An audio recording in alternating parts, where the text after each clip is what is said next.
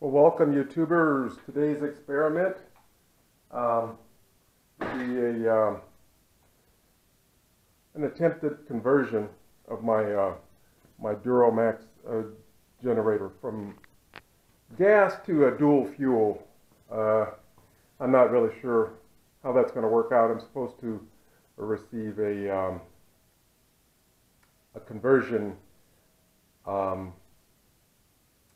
What is it, uh, carburetor in the mail today. So we'll see when that gets here.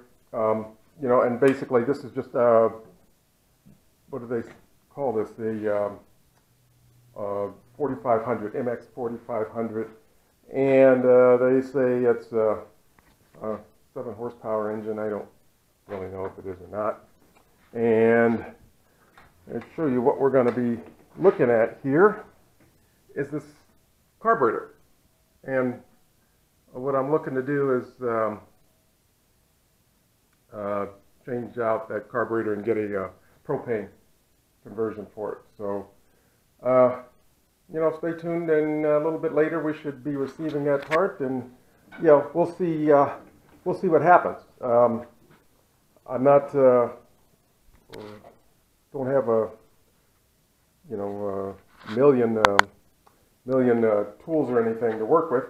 But uh, you know, with what I got, I'm gonna I'm gonna try this out. So um, basically, I think this thing will put out. Uh, who I want to say it puts out maybe 15 watts from there, and at the most. And over here, you can get I think uh, 24 uh, 24 amps, uh, 15 amps and 24 amps. So, um, but when you use this site, you got to use the funny little plug. Um, and I got one here someplace. I'll show it to you. If you were going to use, uh, I, I, do have a table saw that I use sometimes. So I use this funny looking little thing here, and it plugs in on one side, and then on the other side it's got regular outlets, and you can get like, uh, I don't know, 14, 15, you get 15, you can get 30 watts out of there, well, 30 amps out of there. So anyway, when the part gets here, we'll go to it and see if it works. Okay, well the mailman did show up and I, uh, I got my package here in the mail and it is pretty much um, just what I expected to get. Um, just what they showed on the, on eBay there, 24 bucks, uh, 23, whatever, 23 and change. Um, this is the part uh, that I got, and it is um, fairly basic. Um, and the there's a choke handle in there. Um, my only um, concern with this thing I don't like is this. I would prefer to have a, uh, a 3 8 inch um, male um, threaded fitting there, but um, that is the way it shows. So um, I, I, don't believe that this can that this is threaded. This looks like uh, there's some um, Gorilla Glue or something on there that gets pressed in. So I don't know that I'm going to try and take that out and take the time with a die and tap. So that's one thing I've got to figure out. But um, I, I, I did look. Let me see if I can turn this real quick so that you can see it. Um, doing my, you know, just guesstimating here. This looks like it would fit there. Looks like it would fit there just, just about perfectly, and uh, we really shouldn't have a whole lot of issues. Uh, I thought that if there were an issue, that I would uh, separate this from the top and um, I'll mount this down here at the bottom. But I don't think that's going to be the case. I think this is going to, to fit up here just fine. So we're going to go for go for it. Uh, unfortunately, that's this is what it comes with. There's no gaskets in the kit or anything. This is this is it, and they tell you to have it professionally installed, and we're just not going to follow those instructions. This doesn't seem like it'd be that tough. So stand by uh, I'll get started and we'll see where we go.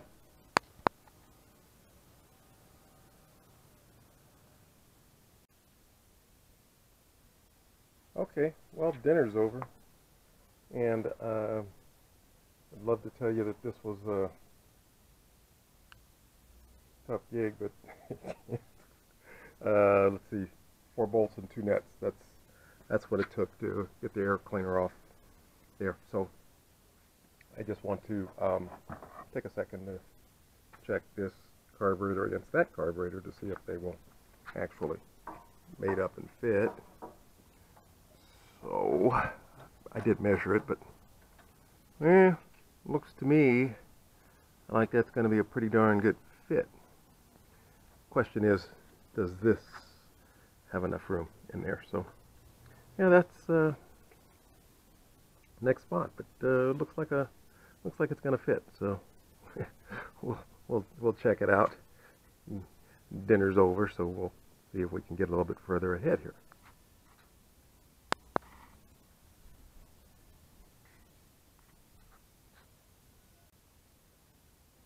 Well, yeah, the other one came off, and it's just these two um, deals there. Nothing significant. So it looks like this will go on here, and it looks like it goes on, and everything clears, and I'm going to say probably will work. I don't see a reason why it wouldn't. So, hooray, hooray. Um, I guess if we're going to check for fit, we would try these, make sure that this would go back on. Uh, I think I got something behind it. Oh, fuel hose.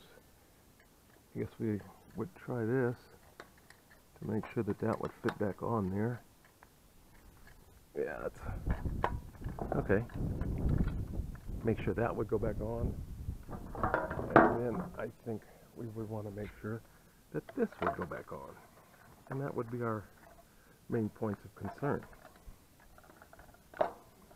So, sorry about the camera movement, folks, but I am working one-handed. Yeah, everything would fit back on there. So um, it's a matter of uh, gaskets now because I got to show you the uh, old carburetor and there's the gaskets stuck to the old carburetor. So that's going to be step number one is either getting some new gaskets or removing those. So we'll, I'll let you know what happened.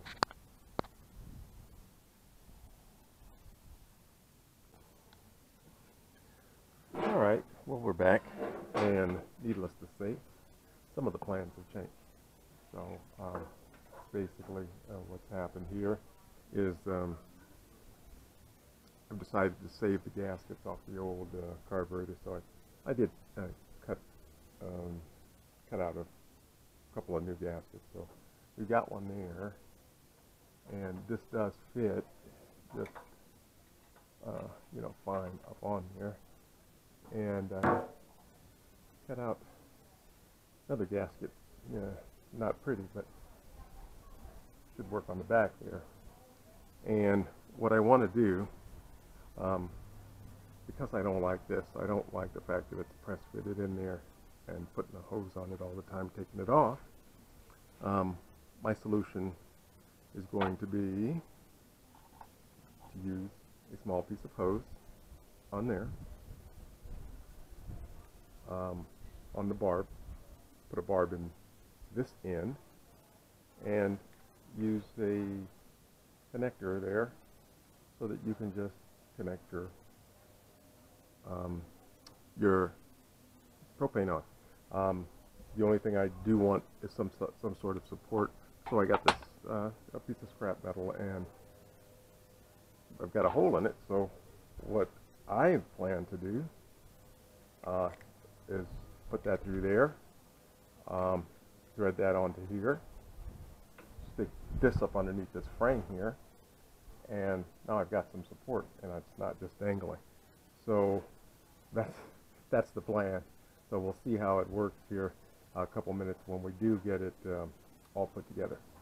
So uh, with that, I'm going to uh, go to it, and as you know, there's not much to do there.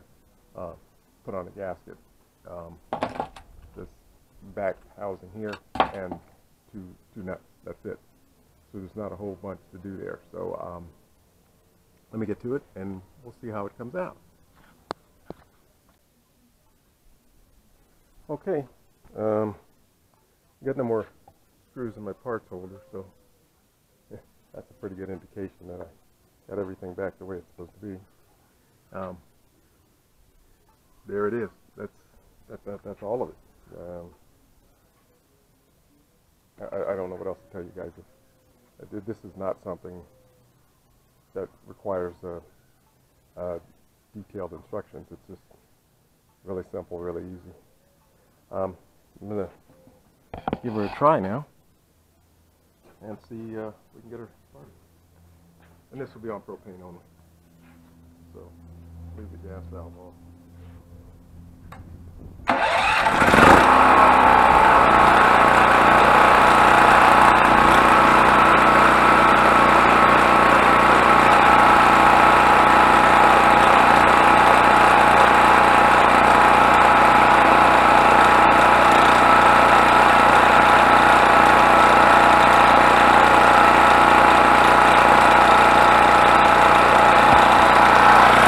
Know that's pretty loud, but let's try it with the propane tank and see how it goes. I mean with the uh, compressor.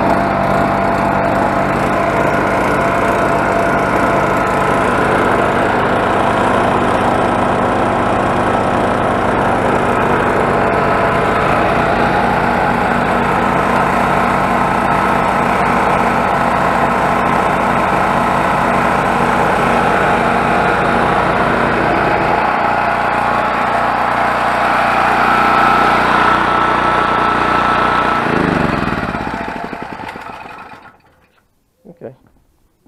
Seems to run flawlessly on propane. I don't know what else to tell you guys. It, it, it's a really easy job. Uh, I'm going to try it uh, now. And uh, gasoline's working. I'm going to say uh, very successful. I want to take this loose first, though. Uh, make sure I don't have something spewing out of there. So we've got some lessons learned on this one. Um, you heard it run on on the propane. We'll we'll turn it on and let it run on gas, and we'll do that right now. Um, before I show you the actual um, the settings here for the carburetor.